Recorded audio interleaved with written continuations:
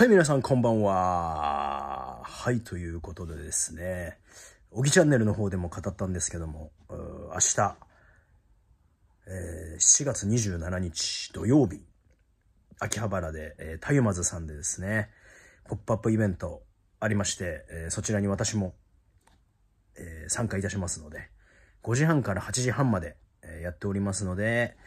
えー、ぜひ皆さん来ていただければ嬉しいかなと思っております。はい、ということで、えー、今日ですね、発表されて僕もびっくりしたんですけども、えー、まあ、平達郎選手対ティム・エリオットの試合がですね、えー、ティム・エリオットの怪我で、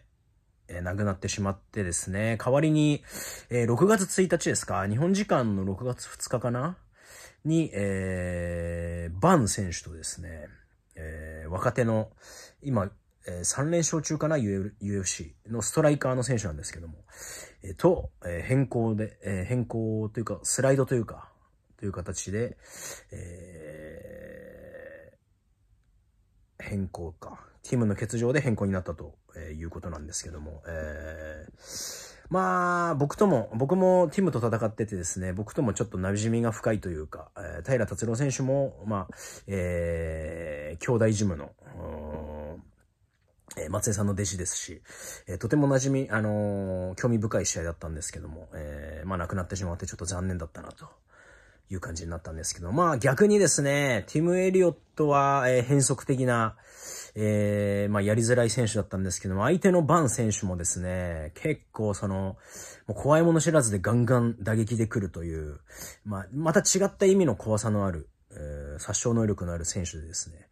えー、まあ、ティムが、平選手よりランカー上位だってですね、まあ、もちろんそれも、えー、まあ、挑戦的な、え、気の抜けない試合にはなるんですけども、このバン選手も、試合もですね、かなりこの、気の抜けない、まあ、一発がある選手ですので、試合になるんじゃないかなと、えー、そういうふうに思いました。えー、まあ、カードは変更になってしまったんですけども、えー、もう全然、あのティム・エリオットとの試合に引きを取らないぐらい、あの、面白い試合になるんじゃないかなと、私は今日、えー、カード変更を見て思いました。えー、まあ、またね、勝敗予想も別の、おぎチャンネルの方かな、まあ、語っていきたいなと、えー、思います。はい、ということでですね、えー、明日、タイマズ様のポップアップイベント、お待ちしてますので、ぜひ皆さん、まだ迷ってる方は来ていただければ嬉しいかなと思います。来てですね、あの、物を見て決めていただくのでも全然大丈夫ですので、えー、お待ちしております。では皆様、おやすみなさい。